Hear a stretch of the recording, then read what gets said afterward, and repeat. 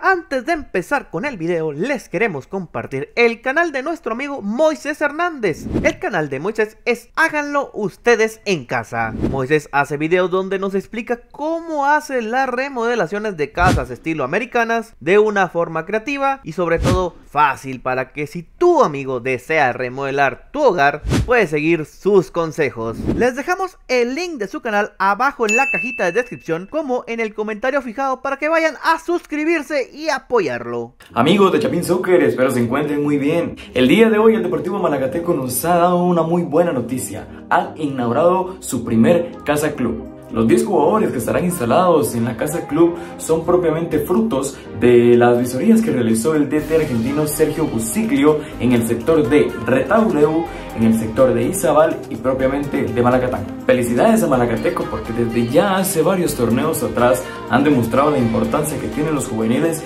y de igual forma trabajar en las fuerzas básicas que en mi opinión es la base de todo equipo, porque si desde ahorita se empieza a trabajar con unos jóvenes con ganas de crecer, no solo en lo futbolístico, sino que de igual forma en lo profesional, se empieza un proceso el cual se puede respetar y que más adelante, a mediano o corto o largo plazo, va a tener frutos dicho trabajo.